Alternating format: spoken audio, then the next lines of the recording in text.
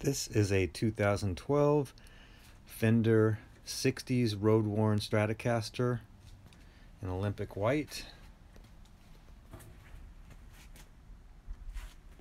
Now we've already cleaned the fretboard, polished the frets on this one.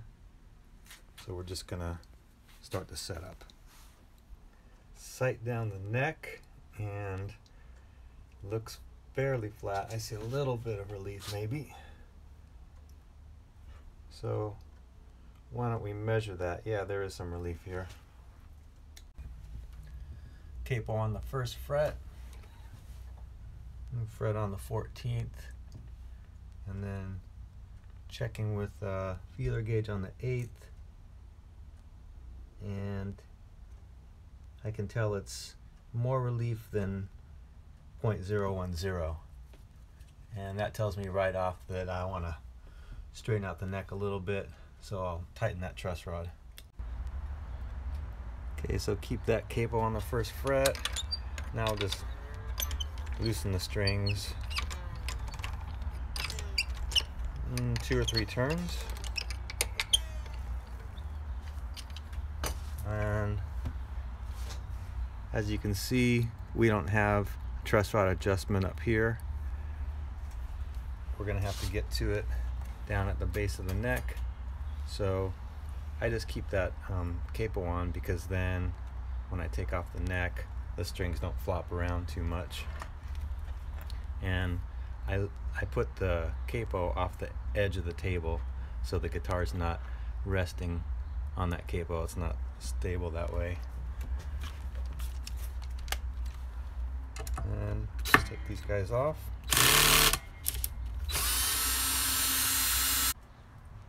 This is just how I do it. You can do it any way you want, but I don't even take the screws all the way out. I just wait until the neck pops up like that and very carefully flip the guitar over. Now you can get the neck out and take a little look at that truss rod adjustment screw. take a nice solid flathead screwdriver. And you want to loosen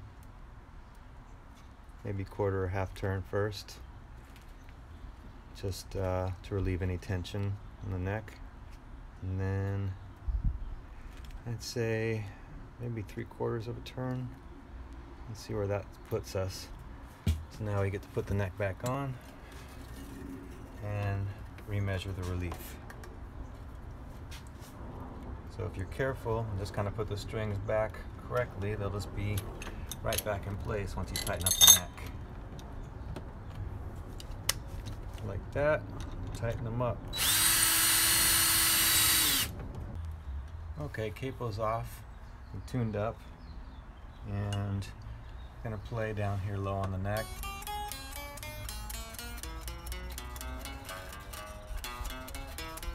And because I can hear that it's all choked and fretting out down there.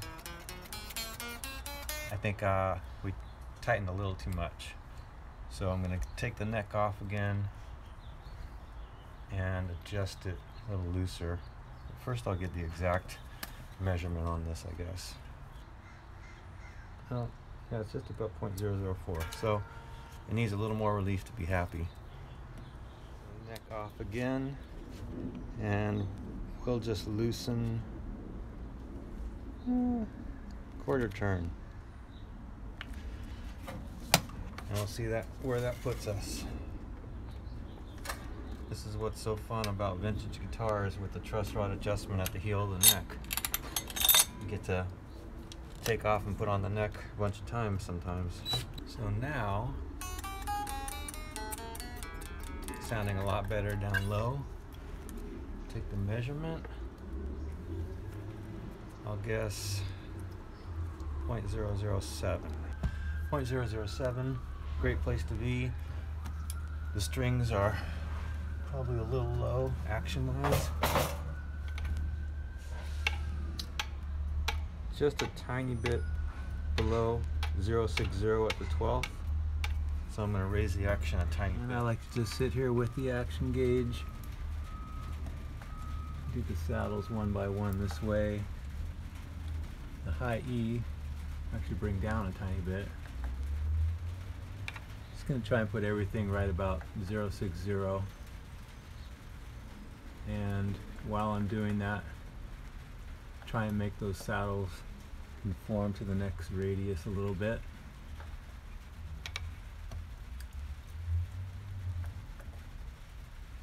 G string needs to come up a bit. Tune back up after setting the action.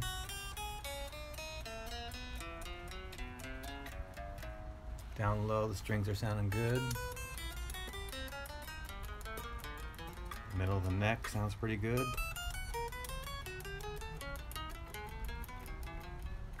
Sounding pretty good all over.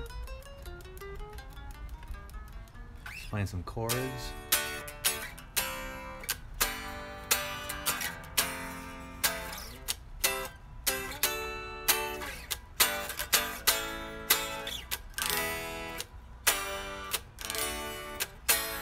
Everything seems to be ringing pretty well. I always like to take a look at how the strings are sitting in the nut slots.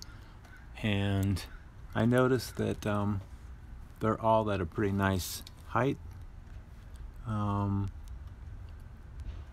except for the B string sitting a little higher than the others. And it's actually, you can tell even visually, if you just look straight across the strings this way.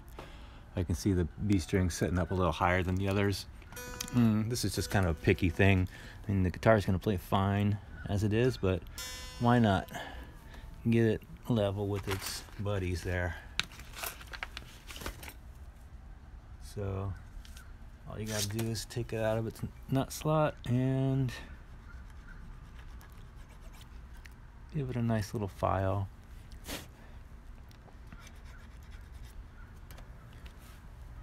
You can kind of see they didn't do the greatest job making this particular slot.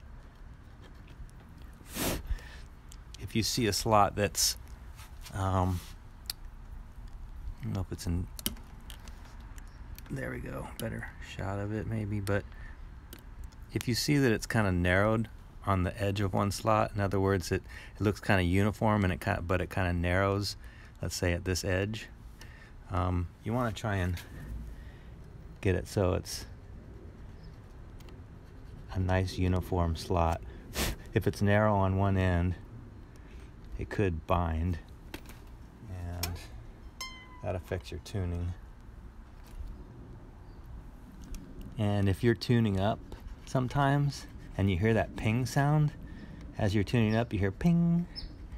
That means your strings binding somewhere usually.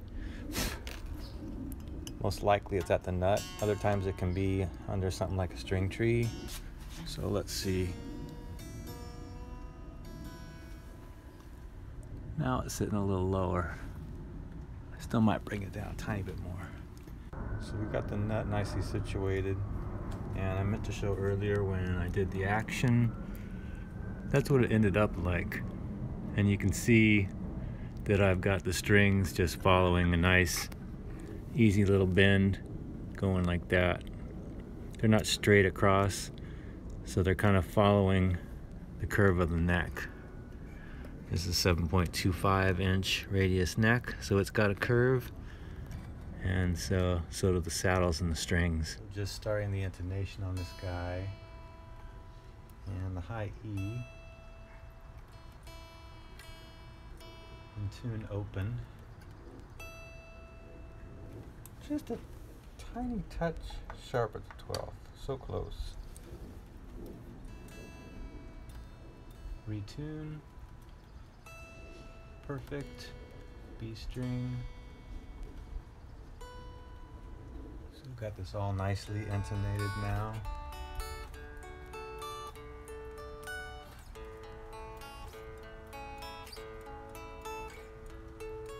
You can tell those triads sound good all up and down the neck. Nice to plug in and just make sure Everything's nice and quiet as far as the switch. No crackly knobs.